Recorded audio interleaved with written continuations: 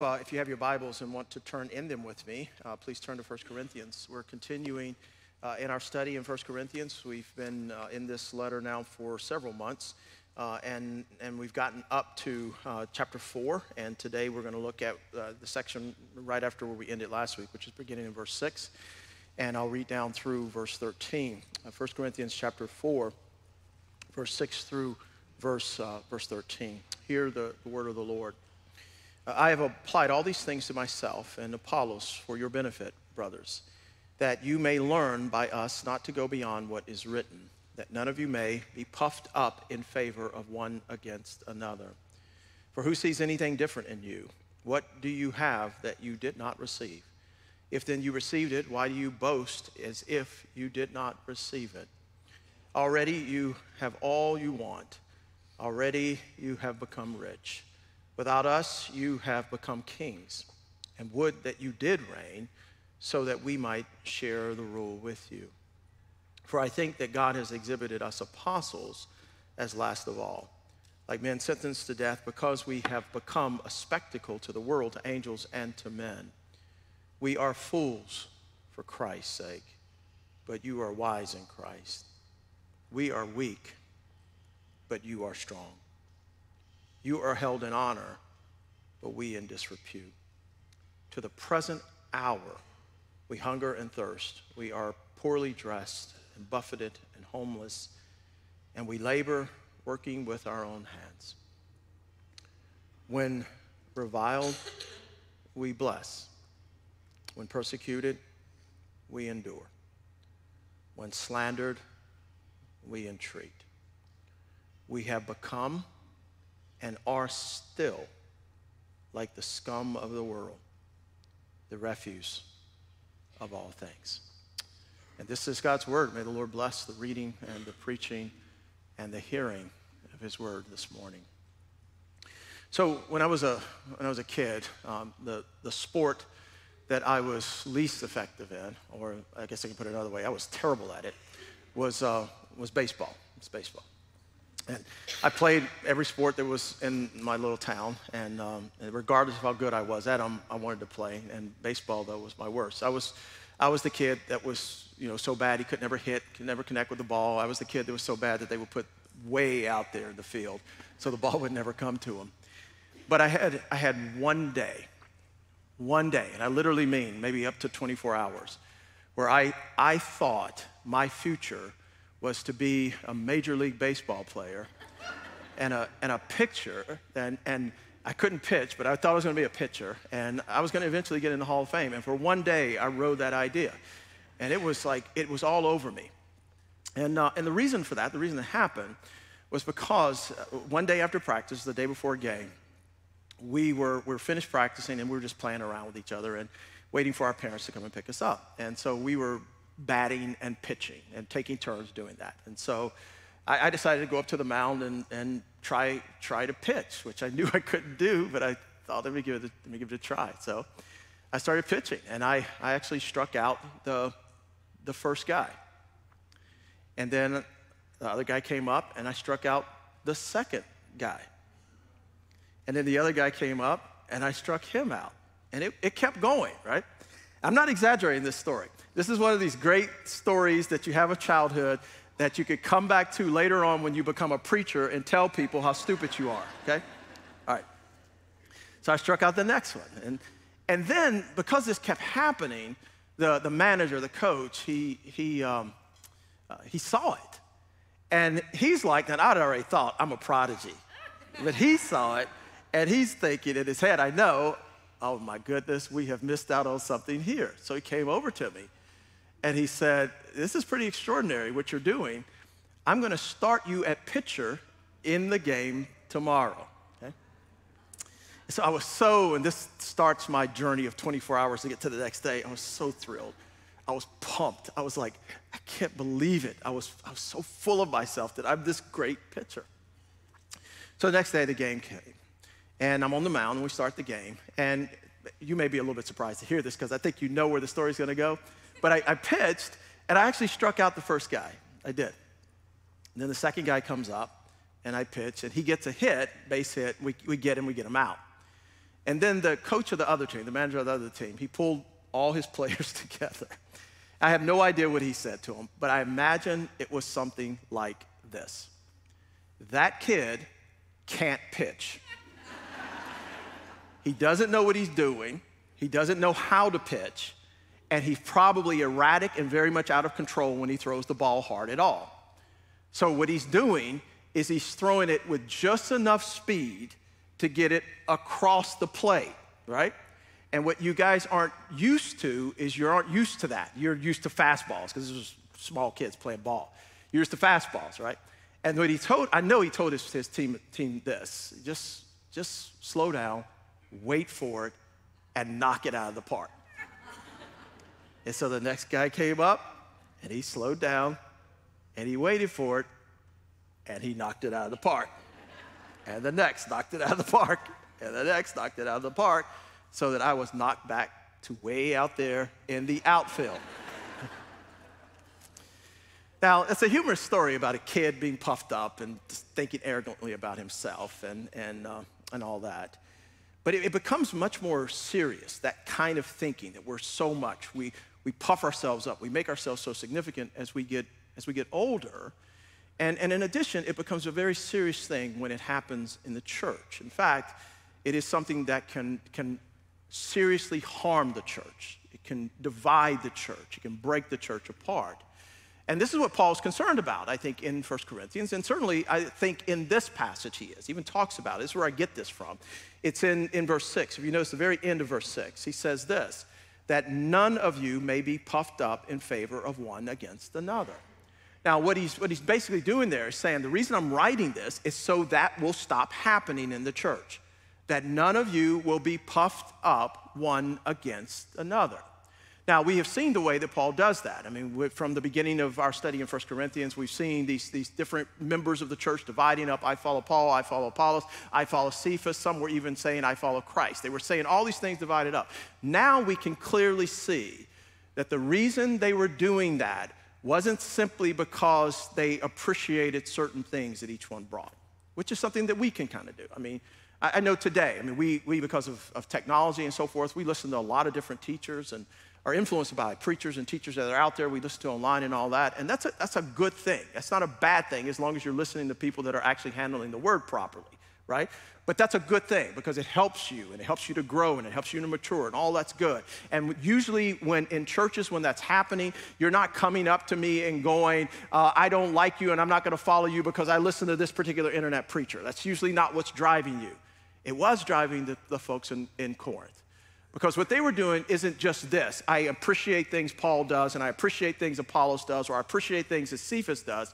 What they were doing was they were basically saying, I think Paul is better than Apollos and Cephas.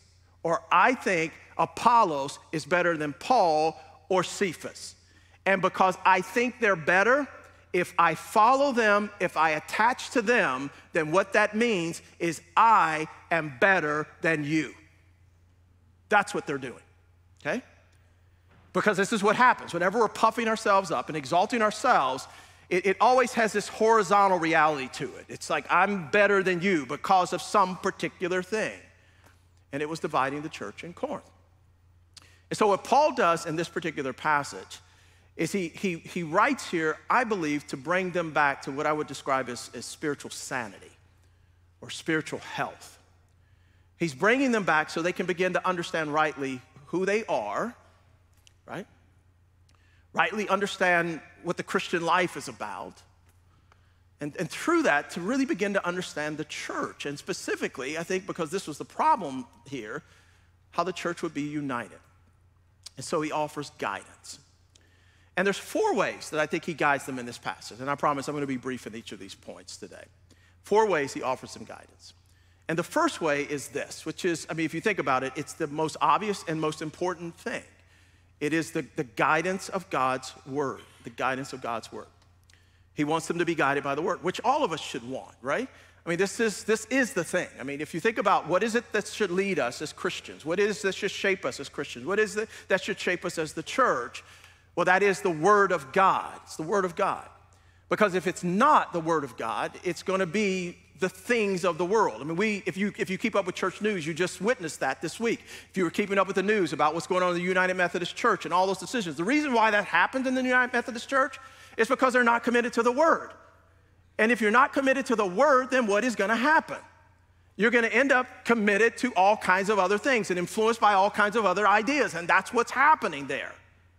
And so we need to always come back to the Word of God. What does it say? Now, where do I see that in this text?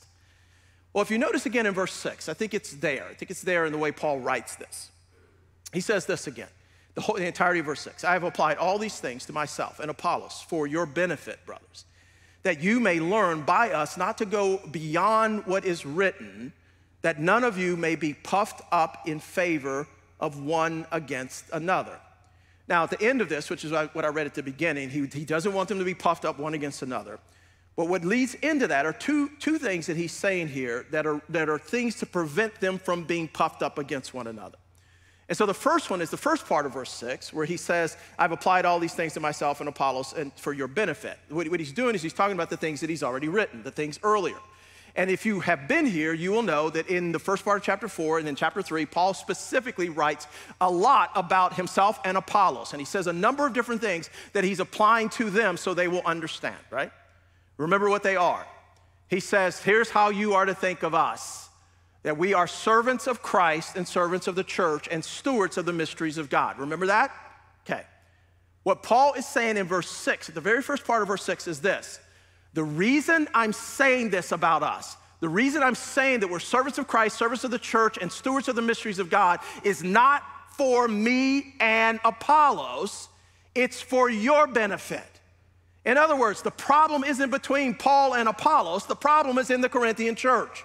And he's saying the reason I'm laying this out so clearly for you that we're servants and stewards is because you need to know how to view us. So that, into verse 6, you don't puff yourself up one against another, okay? But then he gives, in verse 6, another reason for that. Because he goes on to say, this is the middle of verse 6, that you may learn by us not to go beyond what is written. Not to go beyond what is written. What is he talking about?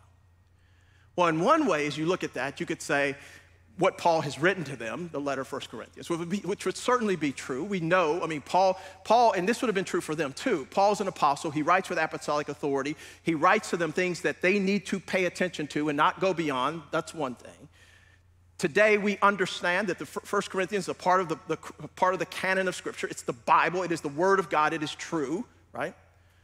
But what I think Paul is specifically doing here when he says not go beyond what is written is he's showing his own commitment to the Word of God. Because remember, Paul, when he went into Corinth, he would preach the Word. What would the Word be? He would preach from the Old Testament. That was Paul's Bible, that was Jesus' Bible. That would have been the Corinthians' Bible, right? To the, to the closing of the New Testament canon? And what Paul is saying is when he tells them, don't go beyond what is written, what he's actually referencing are the things that he's actually quoted to them earlier from the Bible. And you can see this. Remember, don't go beyond what is written. That's the language he uses. Well, if you turn back to chapter 1, verse 19, he says this For it is written. And then he quotes from where? The Old Testament. He quotes specifically from Isaiah 29 14, where he says, I will destroy the wisdom of the wise, and the discernment of the discerning I will thwart. He's basically saying, here's what the Bible says about the wisdom of this world it will be destroyed by God. Okay? All right? In chapter 3, in verse 19 and 20. Remember, don't go beyond what is written. In chapter 3, verse 19 and 20, he says, For the wisdom of the world is folly with God, for it is written. And then he quotes, first of all, from Job 5:13. He catches the wise in their craftiness. And again, then he quotes from Psalm 94:11. The Lord knows the thoughts of the wise, and they are futile.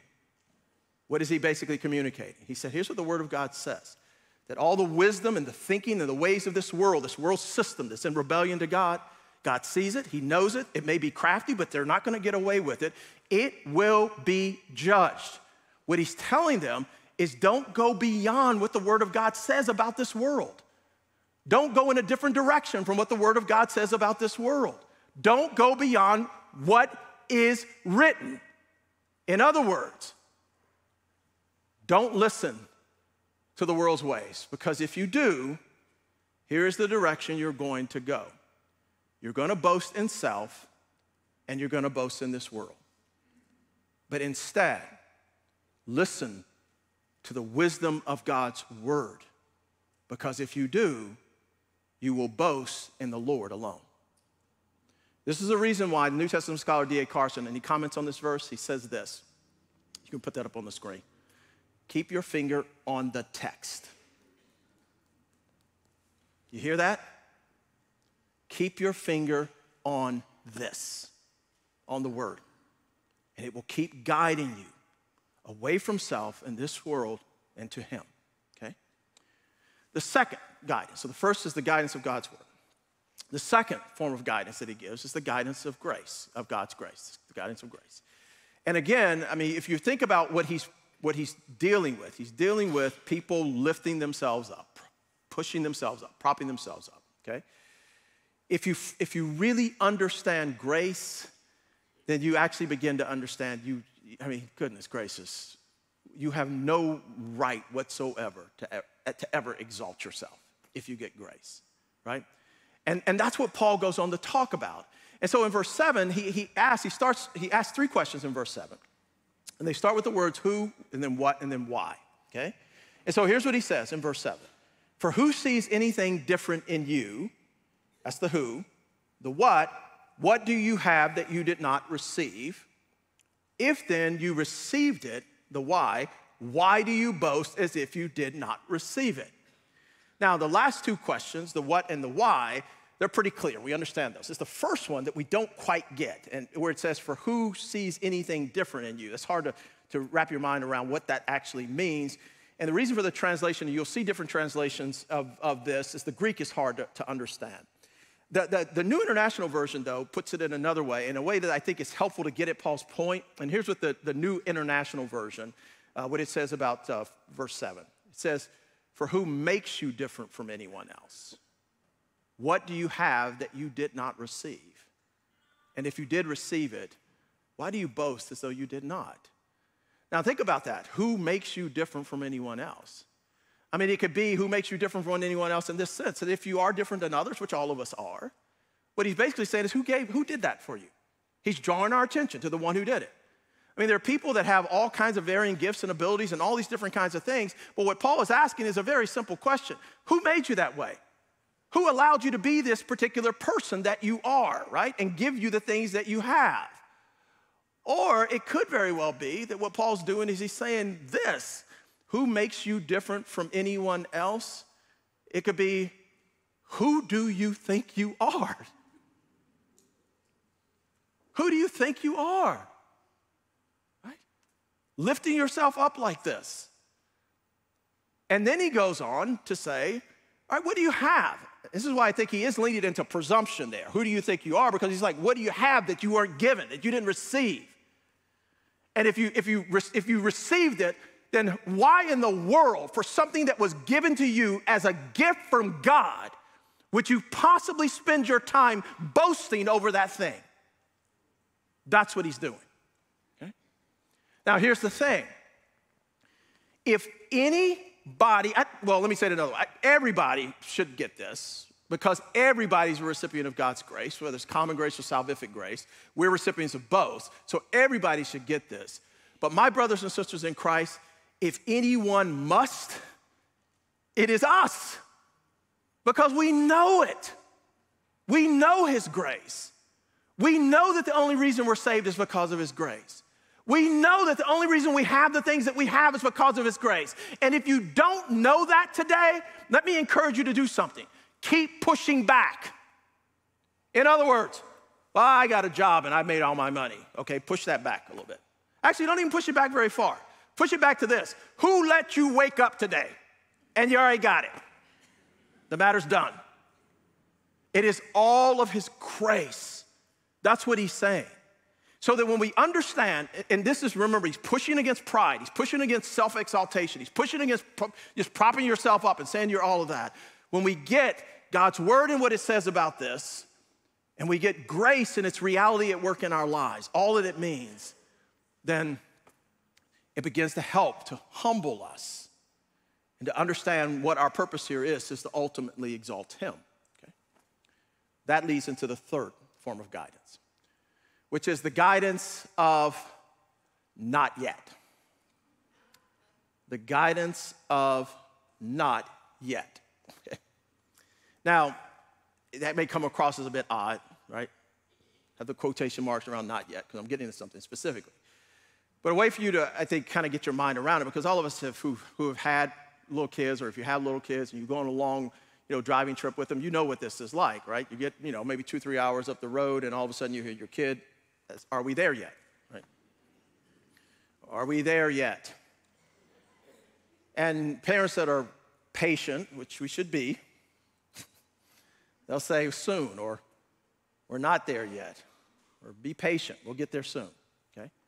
It is this idea of already being there, right? Already being there, it's wanting to be in the final destination. But the truth is that we're still on the journey. It's the not yet part of it. Okay?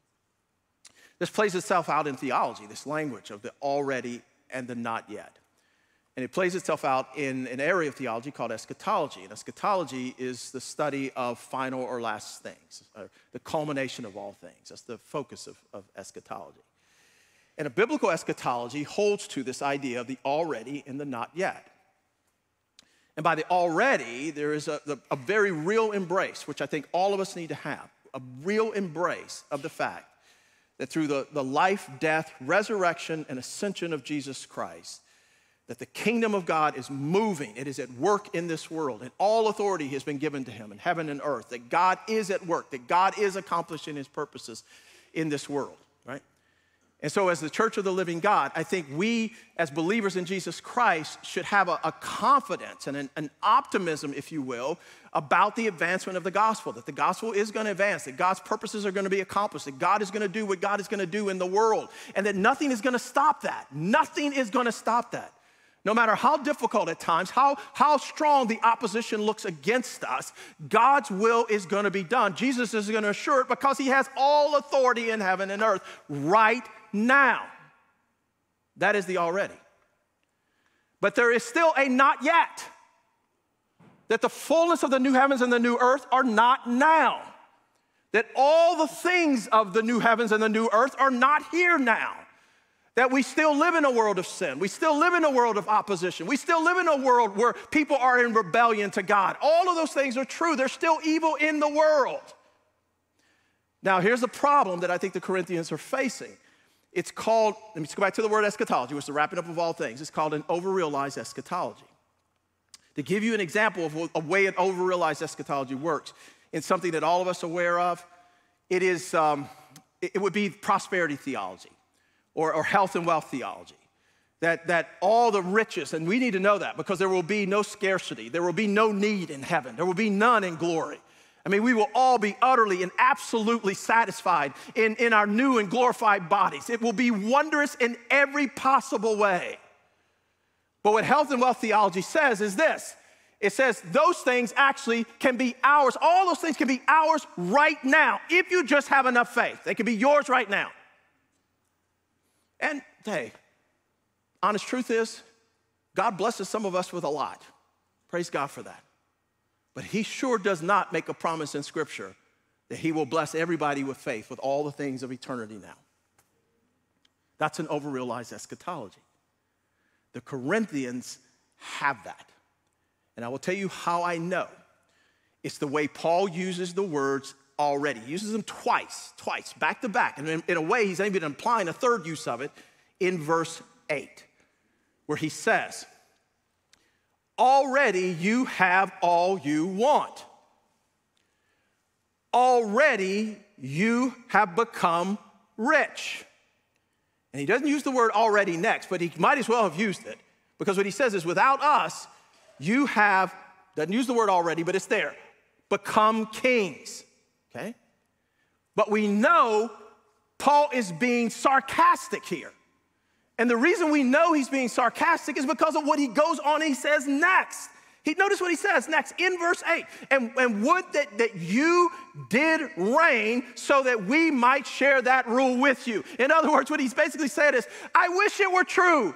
I wish you were reigning right now. Because if you were reigning right now, if that really were the case, then I would be reigning with you.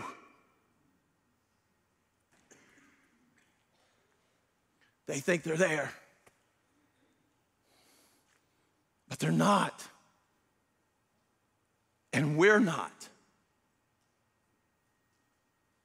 Now, don't let this scare you because the victory is assured. Let it prepare you. You may have times where you're going to see all kinds of wondrous success, advancement, movement. And there are going to be other times when you're going to be hit and you're going to be hurt and you're going to be persecuted and you're going to live you're going to lose your life. What this helps us to do is to have an appropriate in my mind optimism about the advancement of the kingdom of god and not become worldly triumphant like if we just are there and we just say it that all the world is going to be different I would caution you against that. That sense of the new and all that it is breaking into now. God's going to bring us there, He's going to get us there. But the route by which God leads us to get there and how, and the things, the triumphs, and the difficulties we face along the way, I'll trust the Lord with those. Okay? That leads to the final thing. So think about it guidance from God's word, guidance from, from grace, guidance from the not yet. But the final thing is the guidance from godly examples. And that's what Paul wants the Corinthians to have godly examples. So they can look and say, this is what the Christian life actually can look like. This here, what I'm showing you, okay? And what it ultimately has to look like are men and women, and here in this case, Paul gives the example of the apostles, but men and women who are surrendering to and following with all of their hearts and all of their lives Jesus Christ and Him crucified. Okay? So if you notice what he says in verse 9, he says, For I think that God has exhibited us apostles as last of all, like men sentenced to death because we have become a spectacle to the world, to angels, and to men. And you're not going to fully understand those, that verse if you don't put it up against verse 8. Because in verse 8, here's, here's what he's doing. He's, he's talking to the to Corinthians and he's saying to them, here's what you guys are doing. You're thinking that already you are rich, already you have all you want, already you are kings. This is the way you view the Christian life, as that. Verse 9, he's saying, now let me tell you how the apostles think about this and how we view the Christian life. And what he's doing in verse 9 is, 9 is interesting because, and, and they would have gotten this in the first century world because they would have known Roman triumphal entries and all those kinds of things. And so they would have gotten the imagery.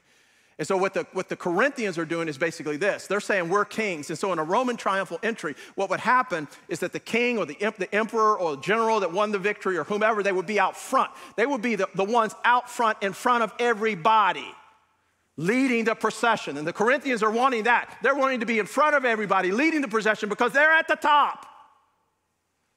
But Paul says here, what? He says, This is how we view us. It's like we're last of all. See those words? Last of all. What is he describing?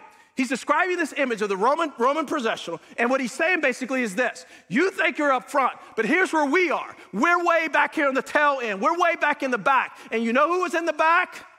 the captives, the slaves, the people that were, were turned over for spectacle on exhibit. He uses that word, spectacle, he uses that word for everybody to look at and laugh at and taunt and humiliate.